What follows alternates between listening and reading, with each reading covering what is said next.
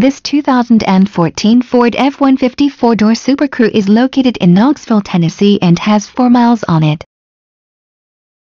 This four-door Super Crew has a beautiful white platinum metallic tri-coat exterior paint color which is complemented by a pale Adobe King Ranch LTH interior color. For more information on this great four-door Super Crew please click the link below.